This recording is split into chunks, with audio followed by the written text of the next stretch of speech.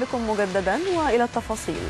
قضت محكمة استئناف عالي القاهرة برئاسة المستشار أحمد نصار ببطلان حكم التحكيم الرقم 1004 لسنة 2014 والصادر بجلسة 28 10 2017 من مركز تحكيم القاهرة الإقليمي للتحكيم التجاري والدولي والذي كان يقضي بتغريم شركة الأهلي للإنتاج العالمي 135 مليون جنيه تقريبا لصالح شركة مسك الدولية بعد فسخ التعاقد مع مسك الحاصلة على حق إدارة قناة الأهلي التلفزيونية منذ انطلاقها عام 2008 وجاء هذا الحكم الذي يمثل انتصارا كبيرا للنادي بعدما واجه مجلس الإدارة الحالي عقب توليه المسؤولية الشكر للمستشار القانوني السابق ياسر فتحي والذي كان مكلفا بمباشرة القضية بقرار من مجلس إدارة النادي السابق. وكلف محمود الخطيب رئيس الأهلي المستشار حلمي عبد الرازق المستشار القانوني للنادي بالملف كاملا خاصة وأنه تولى تحرير عقد الشراكة بين الأهلي وشركة مسك الدولية عند تأسيس القناة. وأشار المستشار حلمي عبد الرازق بضرورة إقامة دعوى بطلان ضد الحكم الصادر لمصلحة مسك بتغريم الأهلي 135 مليون جنيه بعد التشاور مع رئيس الأهلي والذي أكد على ثقته الكاملة في المستشار القانوني لاستعادة حق النادي في القضية. خاصة وأن الحكم لم يكن سيتوقف فقط عند غرامة ال 135 مليون جنيه بل كانت هناك فوائد مالية أخرى.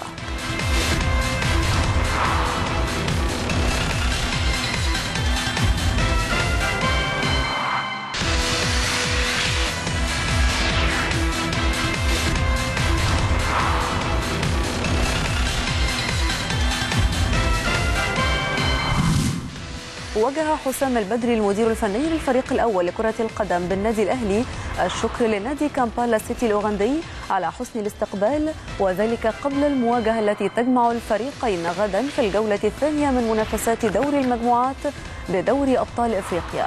وأضاف البدري في المؤتمر الصحفي الذي عقد اليوم أن الفريق حضر من أجل تحقيق الفوز لتعويض التعادل أمام الترجي في الجولة الأولى. وأوضح أن الجميع لديه الرغبة في استكمال مشوار البطولة بنجاح متمنيا أن يكون هناك عدالة تحكيمية في مباراة الغد ولا يتكرر ما حدث في مباراة الترجي والتي تسببت في خسارة الفريق لنقطتين.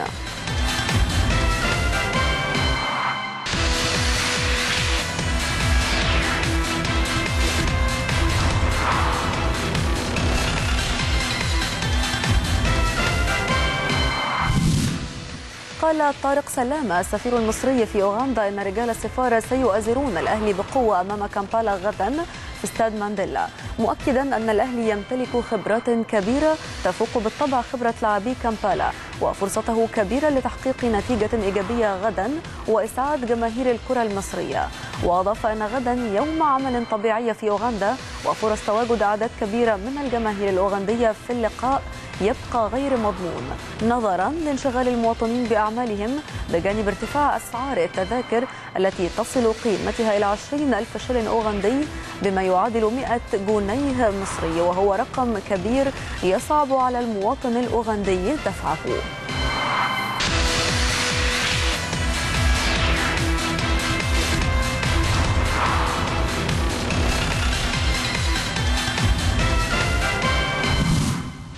وجه السفير طارق سلام سفير مصر في أوغندا دعوة رسمية للمهندس خالد مرتجي رئيس بعثة الأهلي وعضو مجلس الإدارة لإقامة مأدبة عشاء في السفارة المصرية. وقام المهندس خالد مرتجي بأحالة الأمر للجهاز الفني بقيادة الكابتن حسام البدري من أجل اختيار الموعد المناسب بما يتوافق مع برنامج الفريق. وكان السفير المصري طارق سلام وطاقم السفارة المصرية حرصوا على حضور ميران الأهلي الأول أمس والذي أقيم على ملعب المدرسة البريطانية الدولية في العاصمة الأوغندية كامبالا.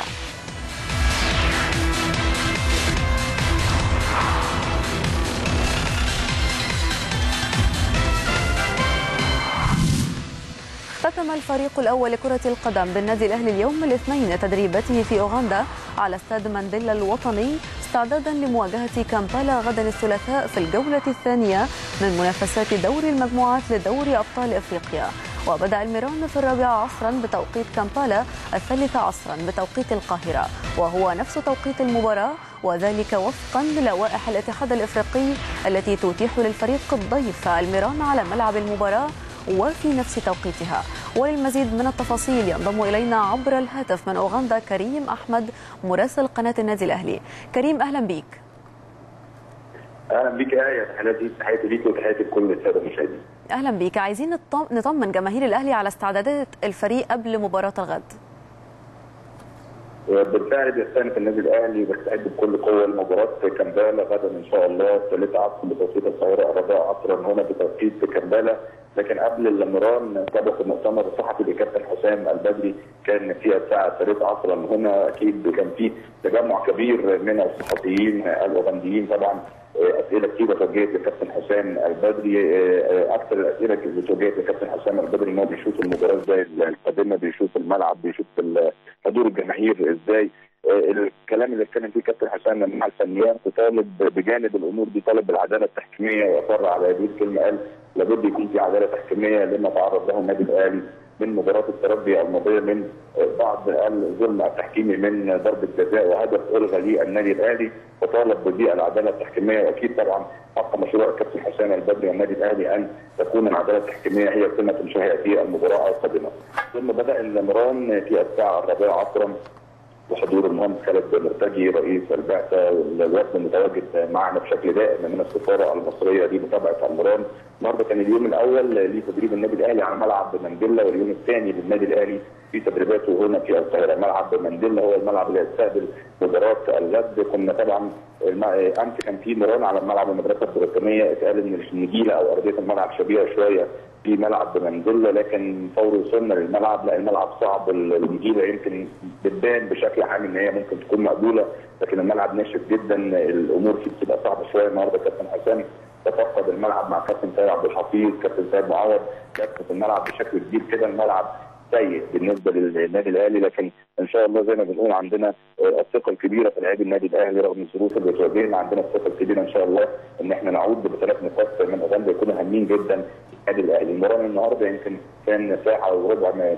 حسام البدري النهارده كان عمل بعض التدريبات الترفيهية للاعبين بجانب الكرة التكتيك الأخير اللي هيحاول إن هو كابتن حسام يطبقه غدا. كل اللعيبة جاهزة بشكل كبير الحاله المعنوية مرتفعة. النهارده المهندس خالد مستجي كان في رسالة تحفيزية للاعبي النادي الأهلي حثهم على أهمية المباراة التركيز فيها وإن شاء الله الحصول على ثلاث نقاط زي ما بنقول هيكونوا مهمين جدا في مشوار النادي الأهلي وإحنا يمكن من خلال متابعتنا كل معسكر مع معسكر فريق النادي الأهلي هنا في أوغندا لا اللعيبة يمكن عندها الثقة الكبيرة إن شاء الله وعندها القدرة إن شاء الله إن هي تعود هنا من أوغندا بنتيجة إيجابية للنادي الأهلي في تركيز كبير وتصميم للاعبي النادي الأهلي في هذه المباراة. يمكن من من لحظات بدأ الاجتماع الفني المساء اليوم طبعا الساعة 3 مساء هنا بتوقيت اوغندا الاجتماع الفني اللي حضر فيه المهندس خالد بن مرتدي كابتن سيد عبد الحفيظ كابتن سمير عدلي كابتن ماهر عبد العزيز. هيكون في طبعا كل الاتفاق على الأمور الخاصة بنوع التحرك الملعب الأمور الفنية الأمور الخاصة طبعا بالمباراه اللوائح الخاصة بالكاف وينقص إن شاء الله كل التركيز غدا النادي النادي الأهلي في مباراته أمام كامبالا اللي هتكون متواجدة الساعة 4 ويكون المقام إن شاء الله الساعة 4 عصرا النهارده توقيت كريم أحمد مراسل قناة النادي الأهلي بشكرك شكرا جزيلا. شدد أحمد حمدي لاعب الفريق الأول لكرة القدم بالنادي الأهلي على أهمية مباراة كامبالا الأوغندي المقرر لها غدا الثلاثاء وأضاف نسعى للفوز غدا لحصد أول ثلاث نقاط في منافسات المجموعة بعد التعادل سلبيا في الجولة الأولى أمام الترجي.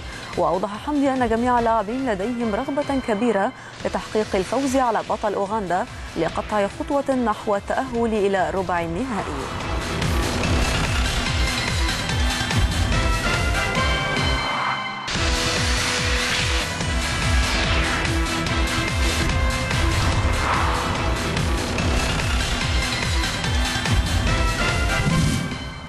أدى كريم نيدفيد لاعب الفريق الأول لكرة القدم بالنادي الأهلي جلسة علاج طبيعي في الجيم صباح اليوم الاثنين على هامش مران مجموعة اللاعبين الغائبين عن مباراة الأهلي وكامبالا سيتي.